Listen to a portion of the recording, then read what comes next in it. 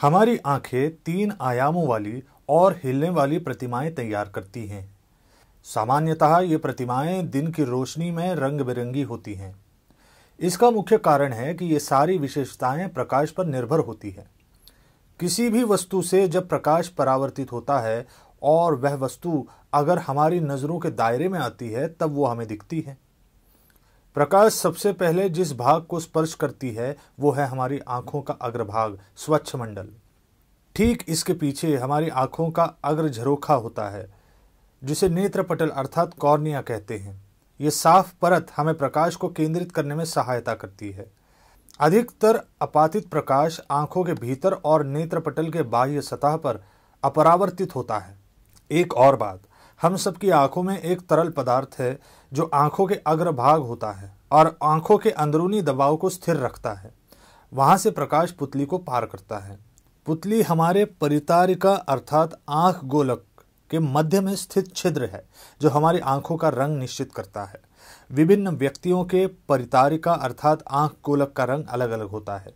परितारिका के मध्य में एक छिद्र होता है, जिसका व्यास बदलता रहता है, अर्थात वो छोटा बड़ा होता रहता है। उसी छिद्र को पुतली कहते हैं। आँखों के भीतर आने वाली प्रकाश की तीव्रता को पुतली नियंत्रित करती है।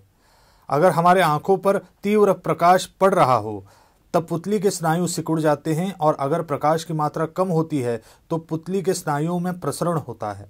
नेत्र के पुतली के ठीक पीछे पारदर्शक द्विउत्तलीय केलासीय हिस्सा होता है। वही आँखों की लेंस होती है। आँखों की ये लेंस कैमरा के लेंस के समान काम करते हुए प्रकाश को केंद्रित करती है। प्रतिबिंब योग्य रूप से बने, इसलिए लेंस के नाभि अंतर में थोड़ा सा समायोजन अर्थात बदलाव किया जाता है। आँखों के अंदर लेंस नेत्रपटल पर किसी भी वस्तु का वास्तविक और उल्टा चित्र बनाती है। प्रकाश अब आँखों में मध्य में प्रवेश करता है। इसके बाद प्रकाश आर्द्रता से युक्त एक पारदर्शी जेली, जो कांचाब जैसी होती है, उसमें प्रवेश करता है।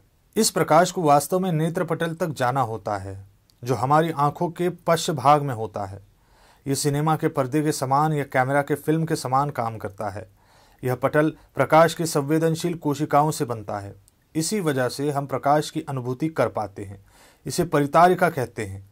परितारिका में शलाका कोशिका और शंकु कोशिका होती हैं, जिनके कारण हम प्रकाश की अनुभूति कर पाते हैं। अलग अलग रंगों को पहचान पाते हैं और हमें गहराई का भी अनुभव होता है। केंद्रित किया गया प्रकाश फ़ोटो रिसेप्टर कोशिकाओं पर पड़ता है। ये कोशिकाएँ प्रकाश पड़ने के कारण उत्तेजित हो जाती हैं और विद्युत संकेतों को प्रसारित करती है। ऑप्टिक नर्व अर्थात आँखों की नसों द्वारा ये संकेत मस्तिष्क तक पहुँचाए जाते हैं। इसके बाद मस्तिष्क उन संकेतों को विश्लेषित करता है और वो उन संकेतों में इस प्रकार बदलाव करता है कि हम उन वस्तुओं को उनके मूल रूप में देख पाते हैं। इस प्रकार हमारी आँख काम करती है। हमें नेत्रों से कैसे दिखता है ये सीखेंगे। प्रकाश अपने स्रोत से निकलकर किसी वस्तु पर टकराकर हमारी नेत्रों में जाता है। नेत्रों की दृष्टि पटल पर इसकी प्रतिमा तैयार होती है।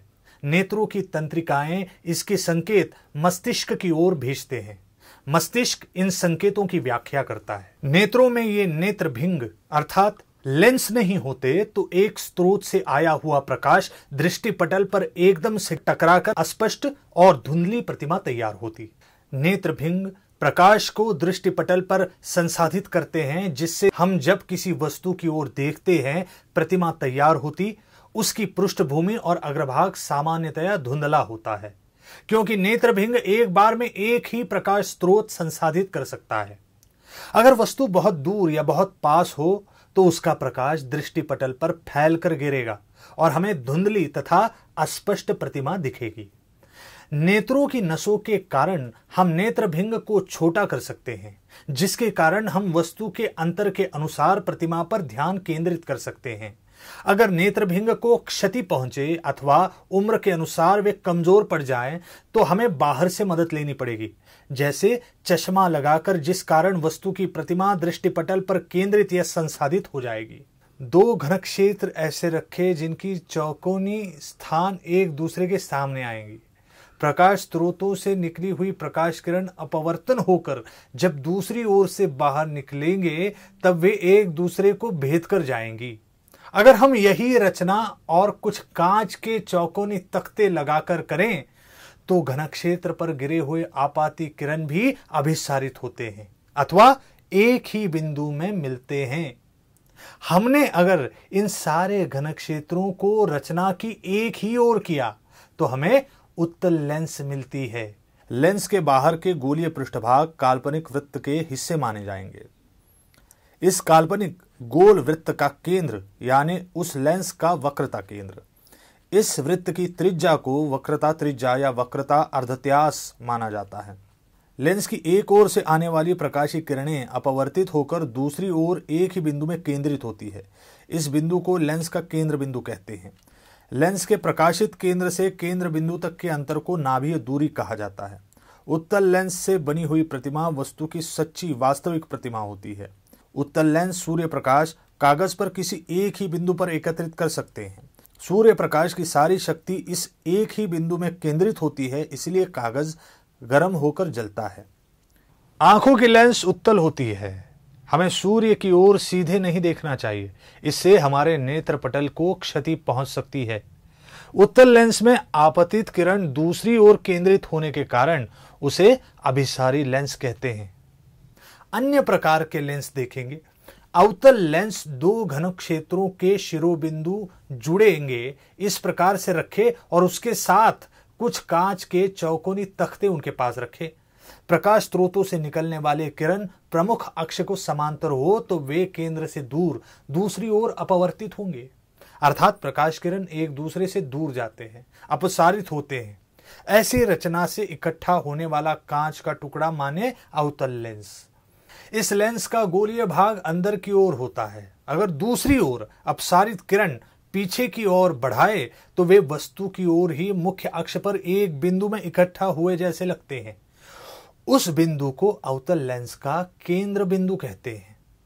अवतल लेंस से बनी हुई प्रतिमा आभासी होती है। सारांश, हमने विभिन्न प्रकार के लेंसों के बारे में पढ़ा।